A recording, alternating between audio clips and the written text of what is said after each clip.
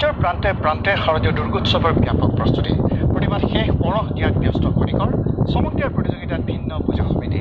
ইয়াৰ মাজতে পূজাৰ কাপোৰ তৈয়াৰত ব্যস্ত একাংশ শিপিনী দুবৰি বনৰ নিয়ৰ গছকি আহিছে। শৰৎ শৰৎ মানেই শেৱালি ফুলাৰ বতৰ। নিৰ্মল আকাশৰ তলত মৃদু বতাহত হালি জালি থকা শুভ্ৰ কহুৱাই দিলে শৰতৰ বতৰা।